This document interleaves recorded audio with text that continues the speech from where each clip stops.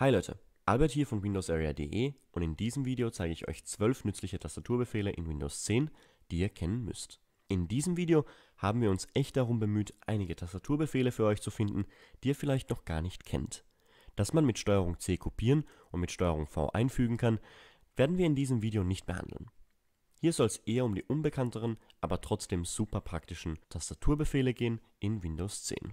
Sagt uns daher in den Kommentaren gerne, ob ihr all diese Tastenkombinationen auch wirklich gekannt habt.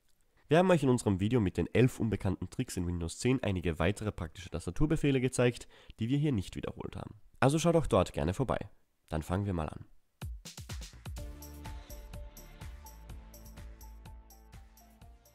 Noch ziemlich unbekannt ist das Emoji-Panel in Windows 10, aber es ist jetzt schon eine meiner Lieblingsfunktionen. Nicht nur wegen der Emoji übrigens. Wenn ihr die Tasten Windows und Punkt gemeinsam gedrückt haltet, öffnet sich das Emoji-Panel.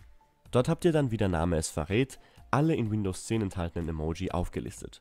Wenn ihr also irgendwo am Chatten seid oder eine E-Mail ein bisschen auflockern möchtet, könnt ihr damit Emoji einfügen.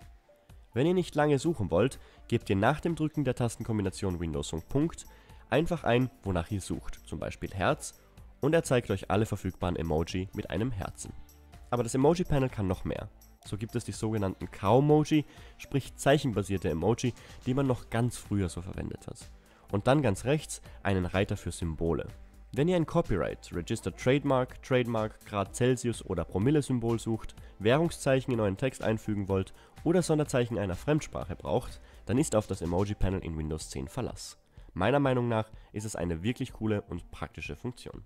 Eine Tastenkombination von Windows kennt ihr wahrscheinlich alle, Steuerung, Alt und Entfernen. Steuerung Alt und Entfernen ist die Lösung für fast jedes Problem. So wurde mir das zumindest eingetrichtert und das ist auch geblieben. Heute benutze ich die Tastenkombination aber nicht. Warum? Das wisst ihr wahrscheinlich selber auch. Erstmal kommt ihr auf diesen Bildschirm und erst hier könnt ihr den Task Manager öffnen. Das macht in der Praxis keiner.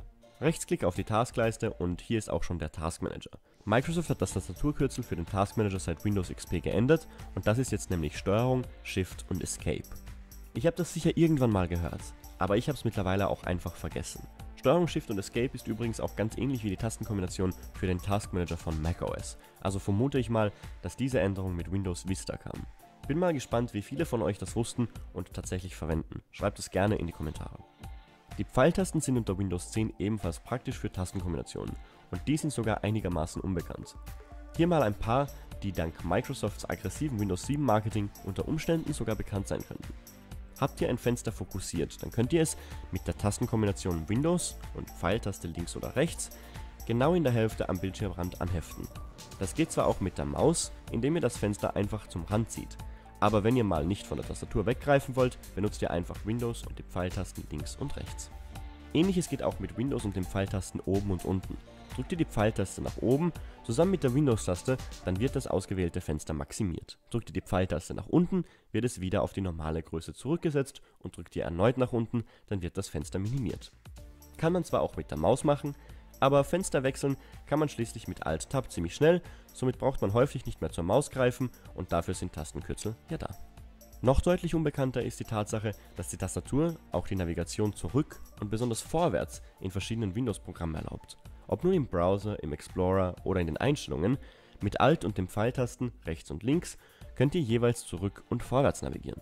Möchtet ihr im Browser also eine Seite zurückkehren, klickt ihr einfach auf Alt und Pfeiltaste links. Möchtet ihr wieder vorwärts, klickt ihr Alt und rechts. Besonders unbekannt ist aber, dass es auch im Windows Explorer funktioniert. Da sind ja die Navigationstasten recht klein und mit der Maus will man die gar nicht unbedingt klicken. Wenn ihr Dateien zwischen verschiedenen Ordnern verschiebt, könnt ihr mit Alt und den Pfeiltasten links und rechts nun herum navigieren.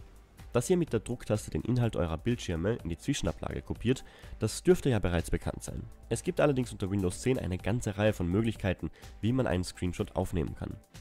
Die erste wichtige Tastenkombination ist in diesem Zusammenhang einmal Windows und Druck, womit ein Screenshot direkt als PNG im Bilderordner gespeichert wird. Auf diese Weise könnt ihr zum Beispiel in einem YouTube-Video oder Livestream mehrere Screenshots aufnehmen und das beste Bild später dann auswählen.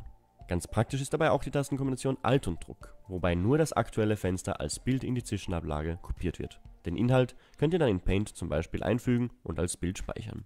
Außerdem noch ganz nützlich ist die Tastenkombination Windows Shift und S, wobei Windows 10 das neue Snipping Tool gestartet wird. Hier habt ihr dann eine Reihe von Screenshot-Optionen, in einem einfachen und sehr übersichtlichen Interface. Ihr könnt einen beliebigen Ausschnitt festlegen und sogar eine freie Auswahl verwenden. Viele von euch dürften ja bereits wissen, dass man mit der Tab-Taste zu verschiedenen Elementen des Systems oder einer App wechseln kann, ohne dabei die Maus zu bedienen.